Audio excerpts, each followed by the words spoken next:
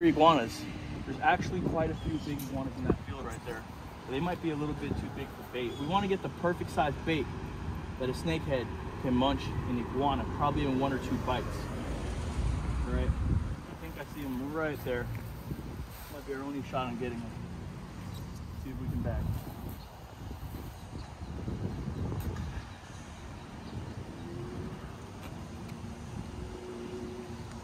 All right, we got him one time. He didn't quite learn his lesson. Now let's see if we can get him again. Oh.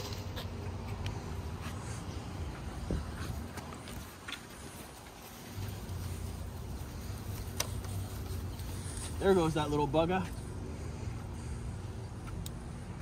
Wow. Look at that. That's gonna be a perfect snakehead bait. What'd you think, Pawn Stars? Yeah, What'd you think, Radi? Looks good. Could you imagine? These things swim on top of the water. I can only imagine a big hungry snakehead tracking this thing down and trying to munch it. While we're here, guys, we're gonna go see if we can get some more iguanas, but we're gonna go ahead and put this guy in the bag, see if we can get our snakehead. I just dropped down the uh, the mini mullet. Oh, Oh, it's big. Oh, he ate, he ate the mini mullet, bro. Oh, yes. All right, yo. Second fish on the mini mullet. What we got? Oh.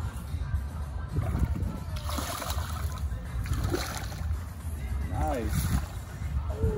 Oh, look at that mini mullet stuck right there in his mouth. All right, yo, there we go.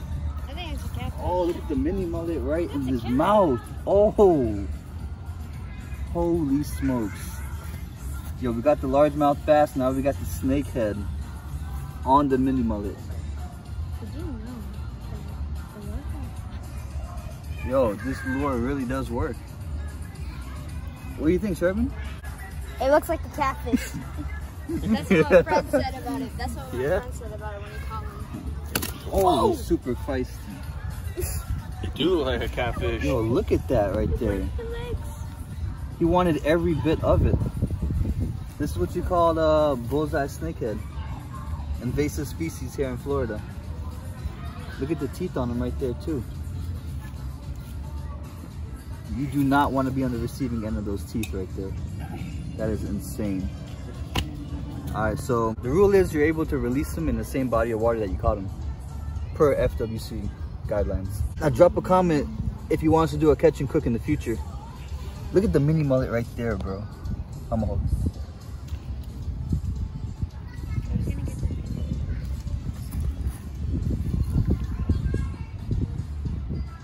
The mini mullet is just like perfectly right, right there, bro. You gotta get that mullet out of his mouth, man. I know. Let me see. Let me, let me- hold on, hold on. Let me see close up. This, Yeah. His mouth. Yeah.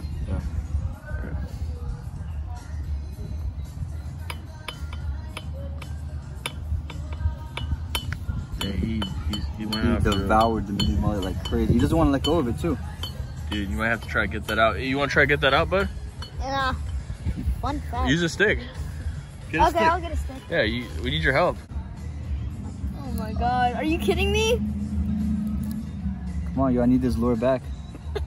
so we can go catch another one. Uh, I think we should euthanize him. I think we should euthanize him. Alright, grab it, grab it. Pull it out. Grab the lure. Pull it out. Oh. Oh, I got there it, I you got go. it, Got I got it. Got the mini mullet out. Oh. Oh, oh so funny. I'm a snake. Oh my god. Slithery It snake. just jumped out my hand and slithered right back in the water. So thank you for watching. That wraps up today's video.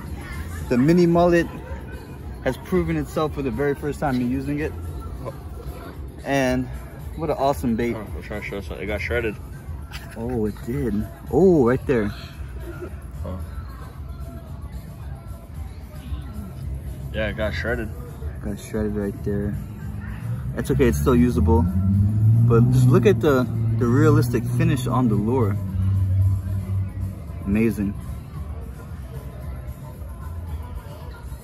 So yo, that wraps up today's video. Hope you guys enjoyed. Hope everybody's doing great, having a blessed day. If you're new to my channel for the very first time, please consider subscribing, really appreciate it. And we'll see you in the next one.